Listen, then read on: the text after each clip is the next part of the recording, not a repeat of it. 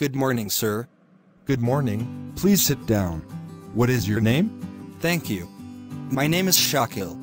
How old are you? I'm 16 years old. What is your problem? My examination is very near at hand. I cannot work hard because I have been suffering from difficult problem. What are they? I have been suffering from indigestion and weakness.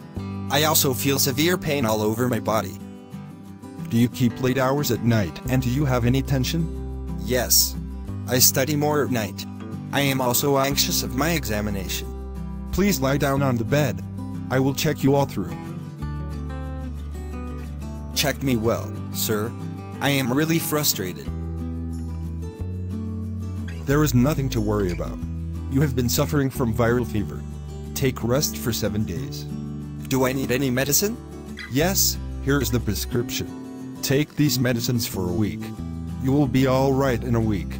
Thank you, doctor. You are welcome.